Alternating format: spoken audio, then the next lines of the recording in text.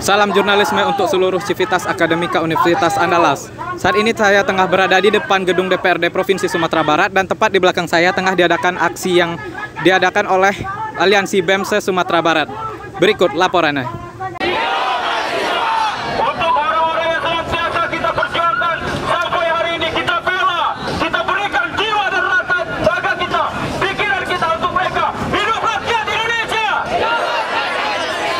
Untuk Aksi yang diadakan oleh Aliansi BEM SB ini dilakukan terkait Kitab Undang Hukum Pidana yang disahkan pada tanggal 6 Desember 2022.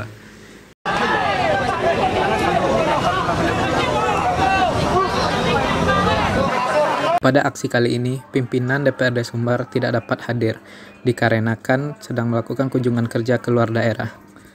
Loh, birokrat itu Dinda nggak bisa melampaui orang yang lebih tinggi. Sabua Dinda sudah bersiap. Kan ada komunikasi. Kan kan nggak pernah mau nggak mau menangani kecamatan kan diganti. Saya su- Adinda sudah langsung bicara dengan Pak Ketua. Pada aksi ini, BEM SB melayangkan empat tuntutan mengenai KUHP yang dinilai membungkam kebebasan rakyat.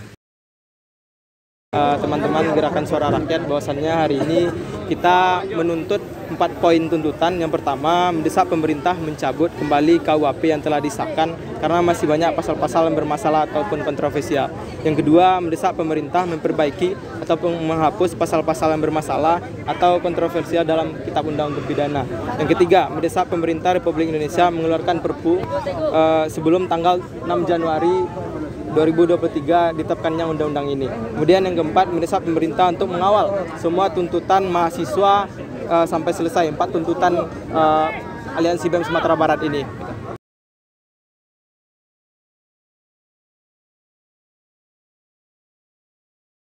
Selanjutnya, Aliansi BEM Sumatera Barat dijanjikan untuk beraudiensi dengan pimpinan dan anggota DPRD Sumbar pada hari Kamis tanggal 22 Desember 2022. Saya Asal Vino Wendra Prima melaporkan untuk Genta Andalas.